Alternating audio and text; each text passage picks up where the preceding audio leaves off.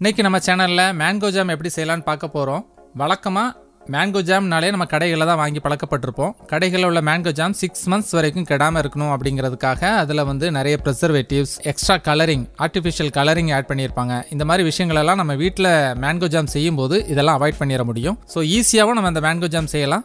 வீட்டிலேயே செய்கிற இந்த மேங்கோ ஜாம் குட்டி பசங்களுக்கு ரொம்பவே பிடிக்கும். வாங்க இந்த மேங்கோ ஜாம் எப்படி செய்யலாங்கிறத பார்க்கலாம். நான் நல்லா பழுத்த ஸ்டேஜில் இருக்கிற மாம்பழம் ரெண்டு எடுத்து வச்சுருக்கிறேன். இதனுடைய வெயிட் பார்த்தீங்கன்னா அரௌண்டு ஒரு முக்கால் கிலோ வரும். இதை இப்போ நம்ம சின்ன சின்ன பீசஸாக கட் பண்ணிக்கலாம்.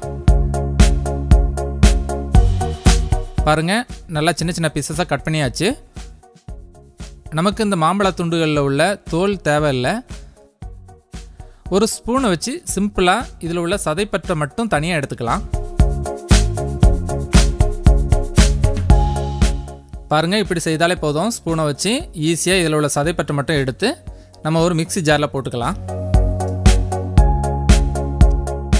இப்போ இந்த மாம்பழ துண்டுகளை தண்ணி ஊற்றாமல் நல்லா அரைச்சிக்கோங்க.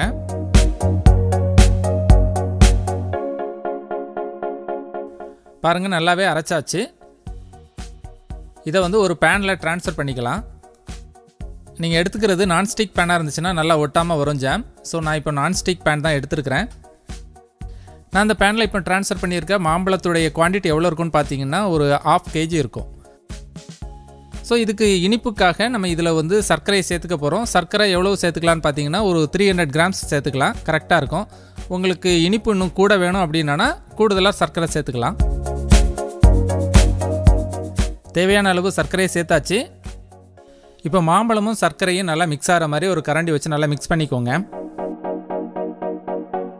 ஓகே நல்லாவே மிக்ஸ் பண்ணியாச்சு. இப்போ இந்த பேனை அடுப்பில் வச்சு நம்ம சூடுபடுத்த போகிறோம்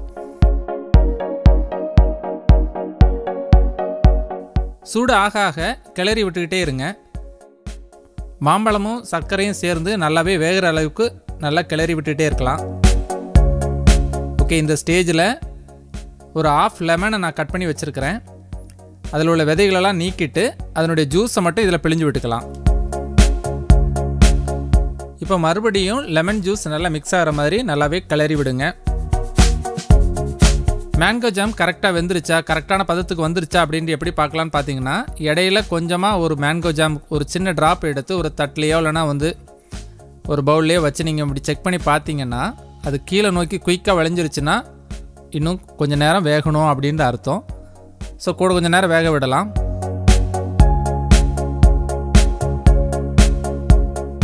இப்போ மறுபடியும் செக் பண்ணலாம்.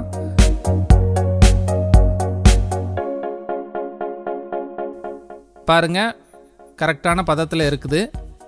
இந்த ஸ்டேஜில் வந்து நம்ம அடுப்பை ஆஃப் பண்ணிடலாம். இப்போ ஜாம் நல்லாவே சூடாக இருக்குது. கொஞ்சம் ஆற விட்டுருங்க. இதை ஈரம் இல்லாத ஒரு கண்டெய்னர் இல்லைனா பாட்டிலில் ஸ்டோர் பண்ணி வச்சுக்கலாம். ஒன் மந்த் வரைக்கும் ஃப்ரிட்ஜில் வச்சு நம்ம இதை யூஸ் பண்ணலாம். இல்லை ஆர்டிஃபிஷியல் கலரிங் ப்ரிசர்வேட்டிவ்ஸ் இப்படி எதுவுமே இல்லாதனால வீட்டில் இருக்க சின்ன குழந்தைங்களுக்கு கூட தைரியமாக கொடுக்கலாம். இந்த வீடியோ உங்களுக்கு நிச்சயமாக யூஸ்ஃபுல்லாக இருந்திருக்கும்னு நினைக்கிறேன். யூஸ்ஃபுல்லாக இருந்துச்சுன்னா வீடியோவுக்கு ஒரு லைக் கொடுத்து ஷேர் பண்ணுங்கள் இது வரைக்கும் நம்ம சேனலை சப்ஸ்கிரைப் பண்ணலான்னா இப்போவே சப்ஸ்கிரைப் பண்ணிக்கோங்க. இதே மாதிரி ஒரு சூப்பரான வீடியோவில் மறுபடியும் உங்களை சந்திக்கிறேன்.